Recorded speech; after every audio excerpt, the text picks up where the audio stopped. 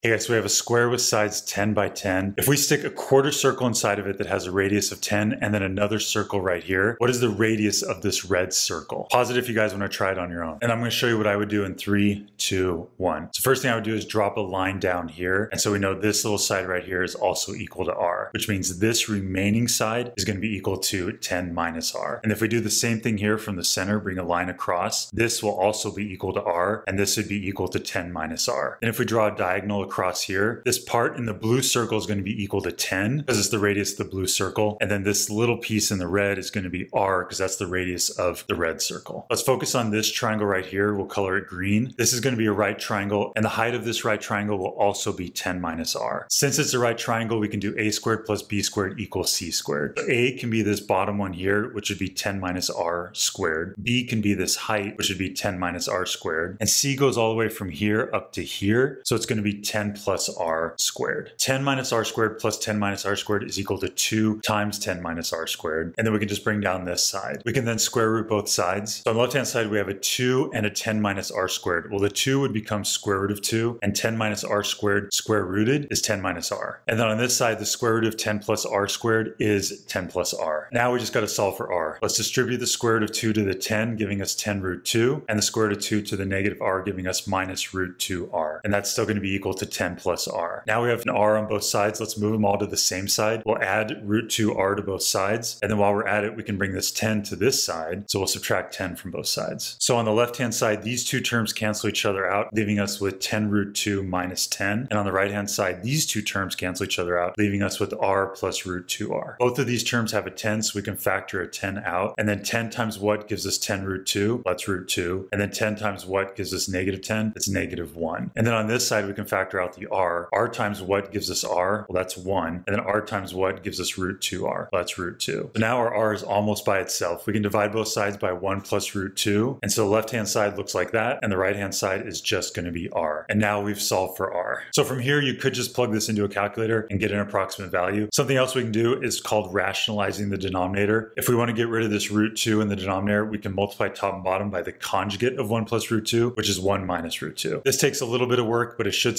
simplify into 30 minus 20 root 2. And if we plug either one of these into a calculator, we get 1.71572. How exciting.